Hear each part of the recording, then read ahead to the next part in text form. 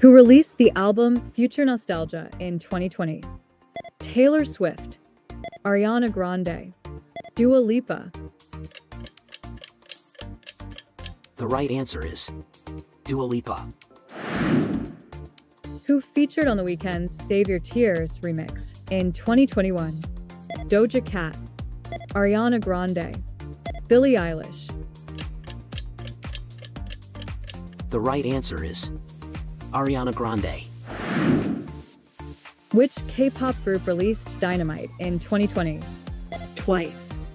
Blackpink, BTS. The right answer is BTS. Who won Best New Artist at the 2021 Grammys? Billie Eilish, Olivia Rodrigo, Megan Thee Stallion. The right answer is Megan Thee Stallion. Whose debut single Driver's License broke Spotify records in 2021. Lil Nas X, The Kid Laroi, Olivia Rodrigo.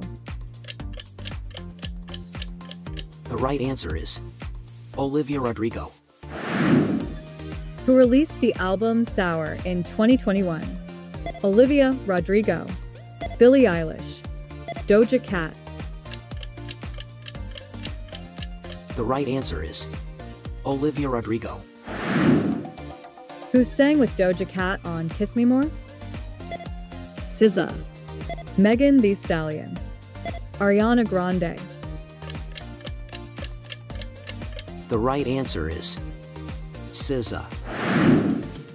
Who released Happier Than Ever in 2021.